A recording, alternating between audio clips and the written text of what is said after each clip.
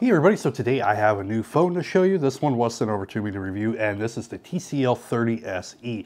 Now this one is pretty budget friendly.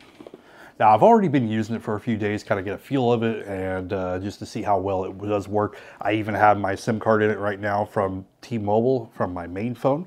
Now definitely keep in mind that this is a 4G LTE phone. It does not have 5G and depending on where you are, you might want to double check that because I know like where I am, uh, 5G is very prominent here, and I actually get pretty good speeds with 5G. Uh, as for the 4G LTE, right now, I just, I'm doing a test right now, and I'm getting four down and a little over 11 up, almost 12 up. So it's a huge difference with the 5G. The 5G, I get about 200 down, sometimes 300 in my area. Uh, so you definitely want to kind of take a look at that. Now, I mean, it is, does connect, it does work, it uh, streaming will work and all of that. Now inside the box there are some other things that you do get with it, like you do get a case. It's pretty basic silicone soft flex case. You also do get a screen protector that you can place on there. You got your user manuals and it does have a SIM card tool. You also got your adapter and your USB cord. And this is a type C, so you could use any type C. All right, so what I'll do is I'll show you some close-ups of the phone itself. Uh, it is a 6.52 inch screen. You do have a camera there in the front punch hole design. You got your buttons here on the sides, charger here and your speakers. And then you also got your, for your SIM card, and you could also put a micro SD in there. At the top, there is a 3.5, so you could actually plug in headphones if you're still doing that. On the back, you have a, a triple camera system here. All right, so this will be a little test of video with audio. It only allows up to 1080p with this one. I'm not sure about any kind of image stabilization. Doesn't really appear to be. You do have a fingerprint unlock.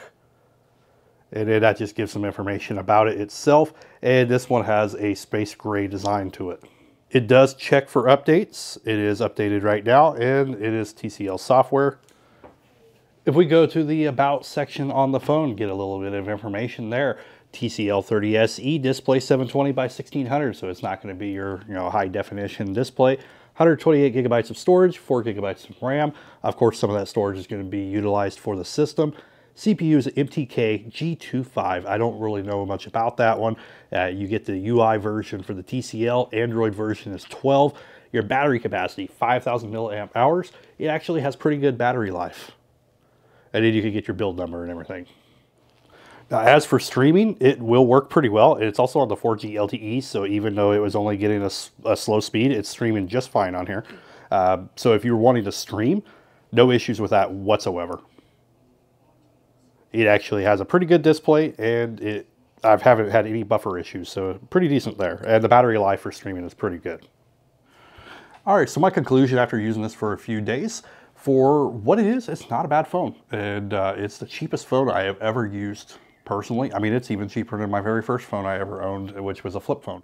Anyway, this isn't going to win any awards. It's not, you know, a flagship. You're not going to get a flagship at this kind of cost.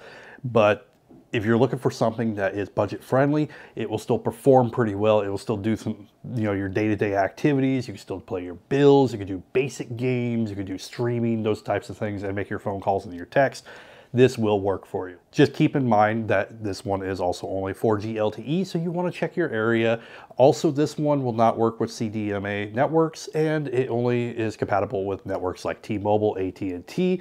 Uh, you could also use probably like Mint Mobile and a couple of the others that use a lot of the same, that use the same networks. Uh, it's not going to work for Verizon, Boost, Sprint. I mean, Sprint is now T-Mobile, but it's not going to work for Verizon or uh, like Spectrum or any of like the cable companies. At, least that's what they said. I don't have them, so I can't test it. I have T-Mobile personally. But anyway, like I said, if you're looking for something that's budget friendly and will do your day-to-day -day activities, this one will work for you. This is the TCL 30SE.